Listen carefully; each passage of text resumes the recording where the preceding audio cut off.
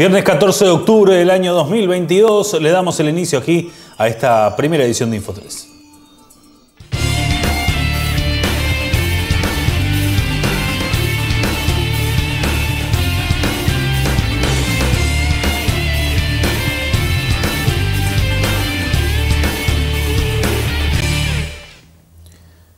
Muy buen mediodía para todos. Bienvenidos a esta nueva edición de Info 3 en este viernes 14 de octubre de este año 2022. Un tiempo más o menos parecido al de ayer, aunque bajó un poquito la temperatura. En este momento hay 21 grados de temperatura en nuestra capital departamental y un tiempo que se presenta cálido con cielo claro. Ayer la máxima llegó a los 26 grados de temperatura, caluroso calurosa en realidad la tarde de ayer, pero ya por la noche hubo mucho viento, mucho viento durante prácticamente toda la noche, lo que hizo bajar un poco la temperatura. Así que 21 grados en este momento, el viento ahora en nuestra capital departamental es del este-sureste a 33 kilómetros en la hora, con ráfagas de 50 kilómetros en la hora. Comenzamos entonces a desarrollar las noticias que tenemos para todos ustedes. Este pasado sábado se realizó con gran éxito el mini bingo de la Escuela de Samba Barrio Rampla, donde la señora Rosario Toledo fue la ganadora del Smart TV. En otra parte, la multicampeona del Carnaval de Artigas prepara más sorpresas relacionadas al comienzo del Mundial de Fútbol. Ya comienzan también los talleres relacionados a la batería y samba nupé. Para quienes quieran participar, deberán informarse en las páginas oficiales de la escuela. Ya en otro ámbito, en el mes de noviembre se realizará la presentación del Samba Enredo, enredo perdón, con el tema Enredo Africanidad Naveia. La verdad que tuvo muy buena recepción, pasamos una tarde preciosa. También en el mini bingo este, supimos quién fue la ganadora de, del Smart TV, de entre los que compraron el bingo contado antes del 8 de octubre, que fue la señora Rosario Toledo, así que eh, ya vamos a hacer eh, igual de todos modos, eh, tipo una conferencia para entregarle a la televisión, porque ahora empezamos con todas las actividades previas al 2000, ya empezamos, pero con actividades un poco más este, completas para lo que va a ser el Carnaval 2023, y en una de esas actividades ya le vamos a entregar la tele a Rosario. Relacionado al bingo, ¿qué otra actividad se viene? Bueno, tenemos ahora relacionado al bingo, tenemos sorpresas para lo que va a ser el Mundial, así que estén atentos para todos los que quieran tener camiseta y pelota del Mundial. Va a haber una sorpresita por ahí, entre todos los que compren el bingo también y entre todas las personas que quieran participar en alas, vamos a darle la posibilidad también de que, entre comillas, desfilen gratis. Ellos se pueden pagar su traje vendiendo rifas, que eso es, una forma que tenemos de ayudar a la gente que quiere desfilar y que a veces eh, económicamente no le da. Después tenemos también actividades en lo que es para el cuerpo de baile, no solamente del ala de pasistas, sino de toda la escuela, ya que nosotros creemos que desde salir en ala, todos los lugares son importantes, entonces si vas a salir en algún lugar de la escuela puedes empezar los talleres de, de Samba Nupé que comienzan hoy jueves este, a las 19.15 horas en la cuadra de ensayo de la multicampeona. Eh, después también eh, comenzamos con los, talleres de batería que eh, comenzaron el sábado pasado, fue un gran éxito de la mano de nuestro mestre Brian y todo el equipo que es un equipo fenomenal y el sábado que viene también siguen los talleres de batería, va a ser todos los sábados. Sobre los talleres de batería se pueden informar muchísimo mejor en Instagram, en la página Batería Guerrera Oficial, que ahí tienen todos los datos, donde ellos están todo el tiempo eh, comunicando horarios, si hay algún cambio de más, los encuentran ahí. Sobre los talleres de, danza los encuentran en nuestro eh, Instagram de Rampla, eh, que es Rampla Samba. Y después tenemos también tenemos Facebook, tenemos, se pueden comunicar también telefónicamente al 099 77 2412 Después tenemos, no sé, un montón de actividades, eh, gracias a eso están surgiendo muchas actividades. Eh, la vez pasada les había dicho fuera de cámara que teníamos una sorpresita para noviembre y ahora ya se las puedo contar, que va a ser la presentación de nuestro Samba Enredo, por lo cual estamos muy emocionados y trabajando muchísimo para eso, así que estén atentos, prepárense, porque se vienen muchísimas sorpresas en nuestra escuela. ¿Se va a abrir el lanzamiento del Samba Enredo en noviembre? Correcto, en noviembre eh, pensamos que la segunda quincena va a ser el lanzamiento del San Manredo, así que estén todos prontos porque va a ser, es, para nosotros es un momento muy emocionante. El tema Enredo ya lo sabemos todos, que es Africanidad de Navella, pero ahora tener el San Enredo, y lo hablo y me eh, va a ser algo eh, que yo me voy a enterar en ese momento también, porque es algo que es muy, muy, muy secreto hasta el momento. Todos nos enteramos del San Manredo al mismo momento, bueno, excepto los que lo graban, nuestro presidente y este, nuestro director que lo saben antes, pero los demás nos enteramos todos al mismo tiempo y es algo súper emocionante de vivir, así que independiente que seas de Rampla o no, si quieres vivir ese momento con nosotros, desde ya los estoy invitando, que va a ser eh, la segunda quincena de noviembre.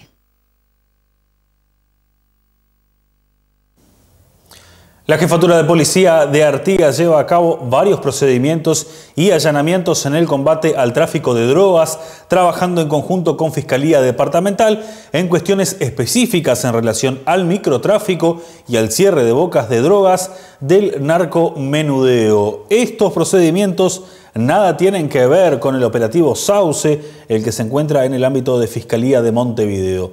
Por otra parte, el comando continúa trabajando con el mano a mano con la sociedad. En el hall de la jefatura, cambiando de tema, se lleva a cabo una exposición de obras del artista atriense Freddy Silveira. Sí, en, materia de drogas, sí. Este, sí se vienen realizando. Digo, nosotros tenemos una planificación hecha de aquí a, la finalización de, del año este, sobre trabajos que se vienen que se vienen realizando hace bastante tiempo, digo, en, concordancia con, las fiscalías y en combinación y siguiendo las directivas de la fiscalía relacionado a las bocas de droga. Este último tiene algo que ver con la operación Sauce que continúan los operativos. la, operación Sauce, em, como yo lo hice saber en alguna oportunidad, depende de la Fiscalía de Montevideo, de la doctora Llorente. Hasta el momento, las cosas que vamos haciendo o que hicimos en el marco de la Operación Sauce eh, eh, fueron puestas a disposición de, aquella fiscalía. Acá lo que se viene haciendo con las fiscalías departamentales es eh, cuestiones específicas relacionadas con el, microtráfico, es decir, con las bocas de drogas y el, y el narcomenudeo, es decir, lo que tiene que ver con el mercado local. En otro orden, vienen recorriendo diferentes eh, puntos del departamento, tanto usted como diferentes comisarios, dialogando con los vecinos. ¿Cómo viene el tema y las diferentes inquietudes?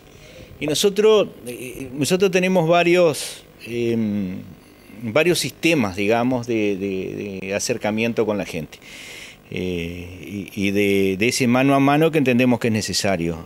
por un lado sale el comando, por otro lado sale eh, los comisarios este, y aquellos equipos, como pueden ver ustedes, que se están haciendo en los centros de estudio, eh, llevando adelante eh, esos talleres con, los gurises de, esas cuestiones este, que, acarrean peligro a, los niños y a los adolescentes, como los problemas informáticos.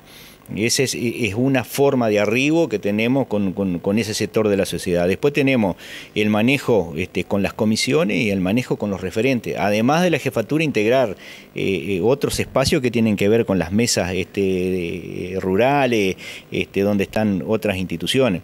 Mm, entonces la idea es tener de primera mano y acudir, eh, nos repartimos, digo, y acudir a toda la esas porciones sociales, digo, para, para recibir y para atender la demanda que, hay ahí. En otro tema, señor jefe, vemos una exposición de cuadros aquí. ¿Podría comentarnos un poquito? Sí, sí, sí, cómo no. Cuando, cuando se hizo, em, em, cuando se festejó el, aniversario de la jefatura el 2 de octubre, dentro de la programación se inauguró la obra, em, se inauguró la exposición del artista artiguense Freddy Silveira. Bueno, eh, él con, muy buena disposición ha, presentado sus obras. entendimos nosotros que el hall de la jefatura, tomando en cuenta el edificio, que es un edificio referente, un edificio emblemático, digo, para, para, la, para la sociedad artiguense, este, en base a eso, él hizo la exposición, nosotros la inauguramos el, el, 2 de octubre y va a permanecer prácticamente todo el mes. Es abierta a todo público este, está buena no porque sea el dueño de casa, eh, sino porque está buena, ya ha venido muchísima gente a, visitarla, este, entonces digo, esto está disponible para que todo aquel que quiera nutrirse un poco de las condiciones del artista y conocer la jefatura, digo, en el entorno que tiene la misma, está a las órdenes. ¿En qué horario, jefe? Bueno, nosotros a partir de las 8 de la mañana, acá empiezan las actividades y se van hasta las 6 de la tarde. El Centro de Salud de Artigas recibió en donación 25 rebozos tejidos en crochet artesanalmente por parte de Ropero Solidario, una ONG que se encuentra dentro de lo que es el Hospital Pereira Rosell y también recibió cinco cunas, cada una con su kit para el recién nacido. En otro tema, se trabaja en el mes de la prevención contra el cáncer de mama y se celebra y promociona estos días la Semana de la Salud Bucal. Sí, este, eh, gracias también a, gestiones que han hecho las propias funcionarias del centro de salud. Hemos recibido en, el día de ayer eh, una caja llena de rebozos que la, eh, realiza una ONG que está dentro del Hospital Pereira Rosell, que se llama Ropero Solidario. Son mujeres voluntarias que han tejido en, crochet diferentes rebozos para nuestros niños, para entregar a nuestros niños. A su vez también este, otras gestiones también realizadas por las propias funcionarias de aquí. Eh, este centro ha recibido eh, cunas con, kit que vienen con, juegos, con cepillos, con este, insumos de higiene para los recién nacidos que no cuentan con una cunita. ¿Qué cantidad de cunas recibieron? ¿La cantidad de rebozos? Bueno, la cantidad de rebozos, este, 25 y las cunas 5 por ahora, pero que seguirán gestionando a medida que surjan este, situaciones que ameriten este, gestionar las mismas. ¿Ya tienen beneficiario las cunas y los rebozos? Sí, eh, en este momento lo que vino ya está todo con, con destino y bueno, eh, estaremos gestionando nuevamente para otros niños que también lo requieran. Lo importante que es tener la ayuda y el seguimiento justamente del Pereira Rosell. Exactamente, o sea, este poder gestionar tenemos también mucho apoyo a nivel local, los Rotary siempre nos están apoyando y otras instituciones, pero también este, gestionar con instituciones dentro del Pereira Rosell para nosotros también eh, es un paso adelante, por supuesto. Cambiando de tema, otras actividades del Centro de Salud, ¿cómo vienen?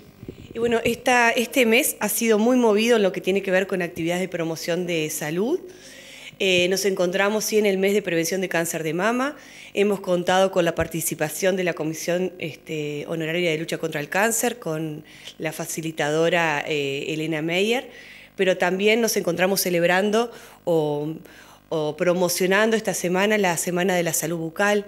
Nuestras odontólogas, el equipo de odontólogos de la RAP, ha realizado diferentes actividades donde este, se han hecho promoción de salud para una boca sana y también atención, no solamente a la población que atendemos siempre, sino también promoviendo atención a las personas, ofreciéndoles atención a las personas que estaban en la sala de espera. También hemos contado con apoyo de otras instituciones como eh, Uruguay Crece Contigo, todo el equipo de técnicas eh, del MIDES que vinieron en el día de ayer a, leerles cuentos en las salas de espera a los niños, que también fue una actividad que estuvo muy linda y que los niños eh, todos participaron y se entretuvieron muchísimo mientras esperaban al médico para ser atendidos. Muy bien, vamos llegando ya casi al final de este bloque, pero vamos a conocer ahora la cotización de la moneda. Presenta Banco República. Recordá que desde el Brow nunca te solicitaremos información personal o confidencial por correo, teléfono o redes sociales. Para saber más, ingresa en asistencia.brow.com.uy. Comenzamos con el dólar a la compra 40 pesos y a la venta 42.40.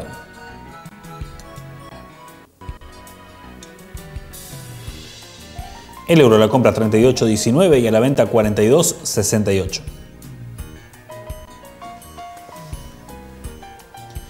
El real a la compra 7.20 y a la venta 9.20.